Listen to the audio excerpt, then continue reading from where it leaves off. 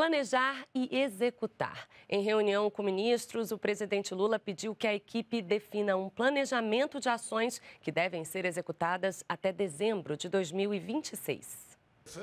Na reunião, o presidente Lula falou que o governo vem retomando políticas sociais que estavam paradas e citou programas que devem ser relançados em breve, como Luz para Todos e o Água para Todos.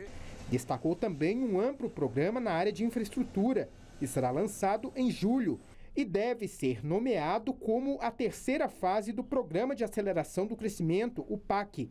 A intenção, de acordo com o presidente, é definir as prioridades do setor junto com estados e municípios. Eu acho que vai ser PAC 3 mesmo, porque é um nome que já está consolidado junto a uma parte da sociedade, já está consolidado junto a quem trabalha na área de investimento público de construção civil. Na educação, o presidente Lula contou que recebeu pedidos para a construção de novas escolas e que esses pedidos devem ser atendidos e anunciou a intenção de criar uma faculdade para atender alunos premiados na Olimpíada Brasileira de Matemática.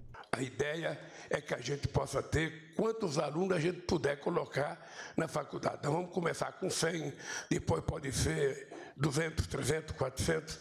Eu acho que é um sonho que a gente vai realizar para essa meninada que se esforça muito para participar das Olimpíadas da Matemática. O presidente Lula destacou ainda que é o momento de o governo trabalhar para executar o planejamento feito e definir novas prioridades.